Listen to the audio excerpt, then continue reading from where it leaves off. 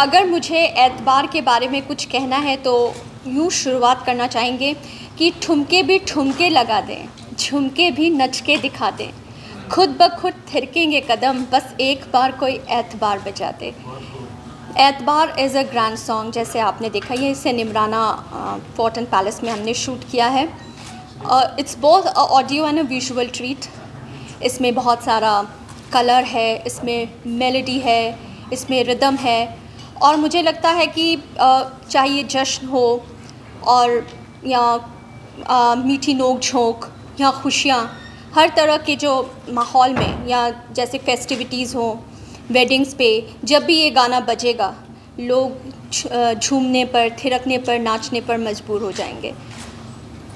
हम जानना चाहेंगे सबसे पहले एक बार आपके आ, कैसे मतलब माइंड में आया ये आपने कि यही गाना ही बनाना चाहिए ये ऐस, ऐसा अगर आप मुझसे पूछना चाहेंगे तो मुझे ऐसा लगता है कि ये जो गाना जब हम इसे कंसीव कर रहे थे तो इसे एस मतलब एस एक फेस्टिविटी एक पार्टी सॉन्ग के तौर पे इसे कंसीव किया गया कि इस तरह का एक गाना हमें चाहिए।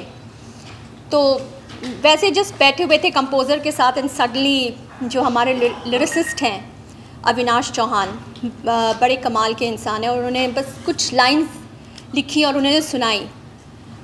बस एक बार तू एक बार मेरा एतबार कर ले। फीलिंग का डाल के तू अचार दिल का तू जार ढक ले। और जस्ट क्लिक हो गया क्या? वाह! बस हो जाए। एतबार की सक्सेस हम किसको देना चाहेंगे? गीतों के बोल को म्यूज़िक को या पिक्चराइजेशन को? मुझे लगता है अगर आप किसी एक को भी अलग कर देंगे तो एतबार एतबार नहीं रहेगा।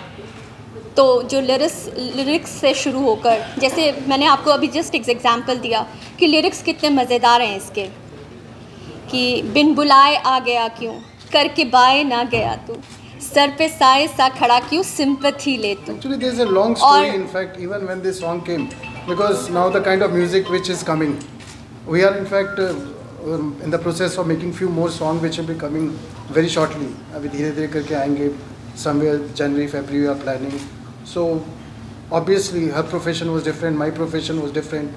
And the idea was to give कुछ अलग से म्यूज़िक बनाए.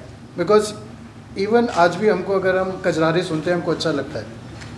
अब कुछ भी कहते रहो। इवन आज भी अगर बीड़ी जलाई ले कुछ भी कहो रिदम वगैरह अगर सुनो तो you feel like listening to